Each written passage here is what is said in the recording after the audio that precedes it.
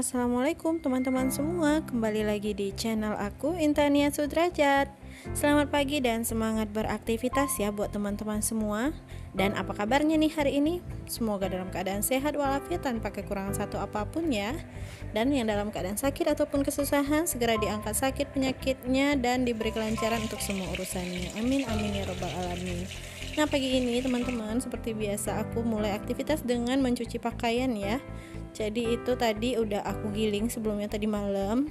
Jadi sekarang mau aku bilas. Sambil nunggu bilas kain Aku mau bersihin ruang e, nonton ini ya teman-teman. Terus aku mau pasang sarung ini sarung sofanya. Jadi sarung sofa ini aku pakai spray ya teman-teman.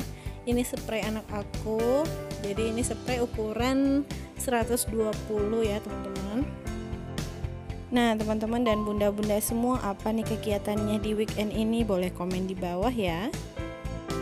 Nah jadi eh, kegiatan aku hari ini eh, cuma beberes terus aku nyuci pakaian sama masak ya teman-teman. Alhamdulillah semalam aku udah kelarin uh, gosokan aku setrikaan aku. Nah ini untuk kainnya udah aku bilas ya teman-teman. Jadi ini sedang aku mau uh, rendam dulu pakai pewangi. Nyambi itu aku mandi dulu. Nah ini aku udah selesai mandi ya teman-teman bunda-bunda. Jadi ini aku lanjut uh, mau ungkep ikan. Rencananya aku mau buat ikan bakar teflon. Kebetulan di kulkas aku masih ada ikan nila ya teman-teman. Ukurannya uh, lumayan sedang menuju besar gitu ya teman-teman. Jadi cukup untuk aku dan Pak Su nah jadi si ikan ini mau aku ungkep dulu teman-teman pakai bumbu bakar kiambang. Jadi aku masih ada stoknya juga di kulkas. Nah ini seperti gochujang ya teman-teman. Dan rasanya uh, pedas manis gitu ya teman-teman.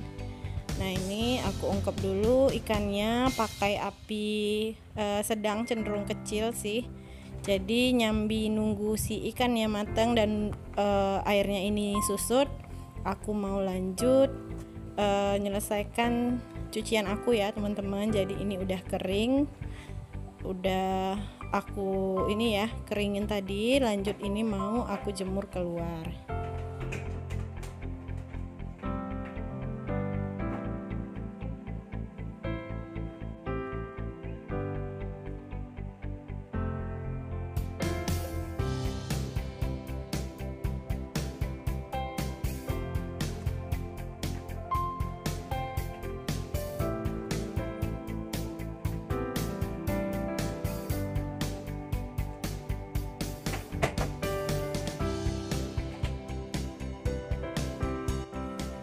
Nah ini jemurannya, eh jemurannya lagi, kayak cuciannya mau aku bawa keluar ya teman-teman. Jadi ini uh, aku agak ragu sebenarnya mau jemur di luar ya teman-teman. Soalnya baru itu uh, sedang mendung gitu teman-teman langitnya. Jadi ini antara iya antara enggak. Jadi aku jemurin dulu di uh, luar ini ya teman-teman.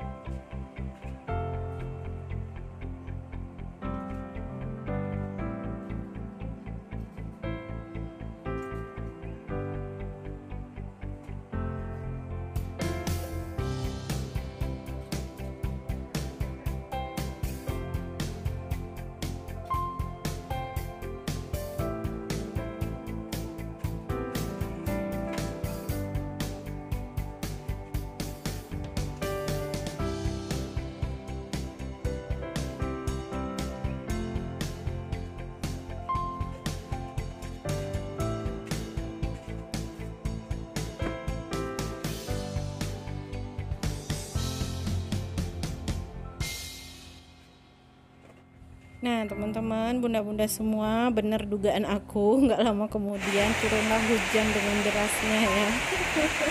Dan alhamdulillah sebelum hujan turun ini aku sempat pinggirin jemurannya ya teman-teman. Jadi ini aku letak di bawah uh, kanopi di teras aku. Nah teman-teman berhubung cuacanya uh, dingin-dingin gini ya. Jadi aku rencananya mau masak uh, gulai. Jadi berkuah agak pedes gitu ya teman-teman. Ini mau buat gulai daun ubi. Atau di sini kami bilangnya uh, apa gulai pucuk ubi gitu ya teman-teman. Jadi pakai tambahan telur uh, tahu sama tempe gitu teman-teman. Jadi ini favoritnya suami aku jadi berhubung suami aku masih di pasar masih jualan ya teman-teman ini aku siapin dulu bahan-bahan yang ada di kulkas. Jadi kebetulan daun ubinya atau daun singkongnya itu kan nggak ada di rumah nih teman-teman. Jadi itu nanti aku masukinnya belakangan. Tunggu pak suami pulang. Nah ini aku punya stok jagung dikasih sama mama aku ya teman-teman. Ini rencananya aku mau buat pergedel jagung Nah biasanya aku kan eh, nggak e, boleh ketinggalan tuh ya teman-teman si tahu sama tempe goreng. Jadi berhubung si tahu sama tempenya aku masukin nanti ke dalam e, ini ya campuran gulainya, aku mau buat tambahan perkedel jagung buat suamiku. Nah ini aku mau siapin bumbu gulainya ya teman-teman. Jadi itu aku tadi e, punya bumbu dasar putih. Jadi aku pengen tambah e, berarti tinggal cabai terus jahe sama kunyit dan kemiri ya teman-teman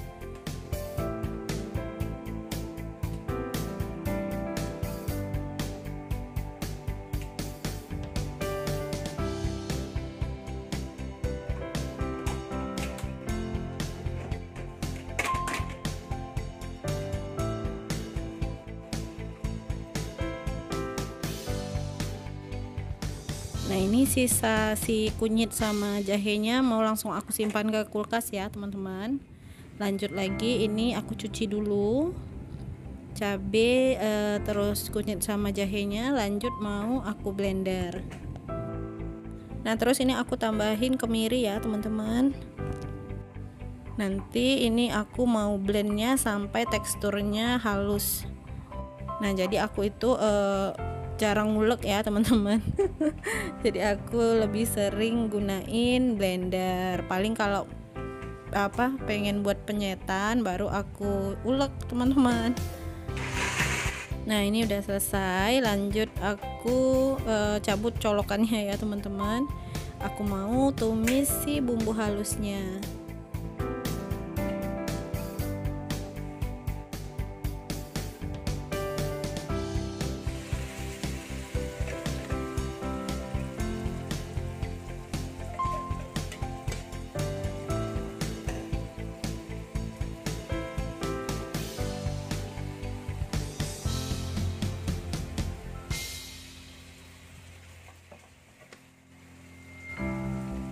Nah ini aku tambahin daun salam ya teman-teman. Jadi itu daun salamnya kering.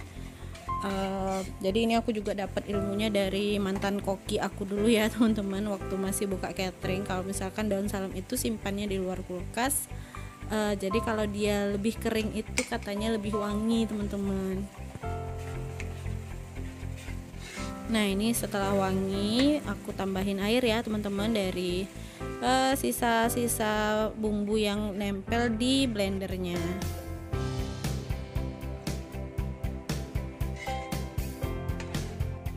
Nah lanjut aku mau potong-potong tempenya ya teman-teman untuk bahan campuran gulainya.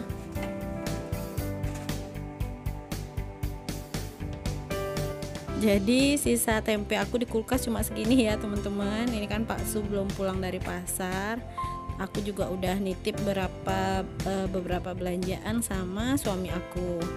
Nah ini lanjut aku tambahin tahu juga ya teman-teman karena suami aku suka kalau misalkan tempe tahu itu digulai seperti ini. Nah ini juga ya teman-teman. Uh, telurnya mau aku campurin ke dalam gulainya sebelum itu aku mau bumbuin dulu ya. Ini bumbunya e, seperti biasa aku pakai kaldu ayam terus gula sam, e, garam ya teman-teman sama gula pasir sedikit aja.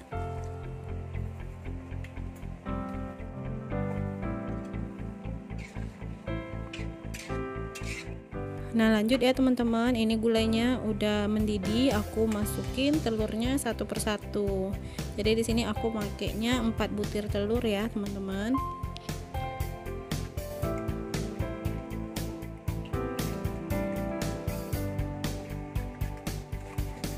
Nah nyambi ya teman-teman. Nunggu si gulainya ini e, matang dan nunggu pak suami pulang aku lanjut mau bersihkan uh, si jagungnya. Karena rencananya aku mau buat perkedel jagung nah setelah aku cuci bersih aku uh, serutnya pakai pisau ya teman-teman. Seperti ini. Lanjut aku mau uh, tumbuk.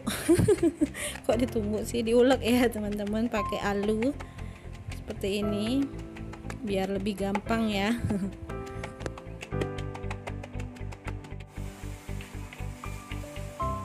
Dan lanjut aku mau bumbuin nah ini aku udah siapin uh, cabai merah giling ya teman-teman. Jadi ini cabai merah bawang merah bawang putih sama kemiri. Nah lanjut aku mau tambahin tepung bakwan ya teman-teman. Jadi di sini aku pakainya cuma 3 sendok aja karena suami aku tuh nggak suka yang banyak tepung ya teman-teman. Jadi aku banyakin di telurnya. Jadi di video aku uh, cuma masukin satu telur ya teman-teman uh, sebelumnya sebelum digoreng itu aku tambahin dua butir telur lagi. Terus aku tambahin uh, daun sup sama bawang pre ya teman-teman biar wangi-wangi gitu.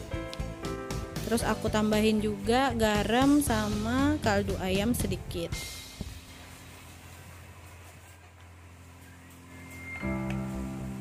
Nah ini tadi suami aku udah pulang ya teman-teman. Jadi eh, daun ubinya atau daun singkongnya ini udah aku cuci Terus udah aku rebus di eh, apa namanya panci yang berbeda ya teman-teman. Jadi langsung aku masukin ke dalam gulainya.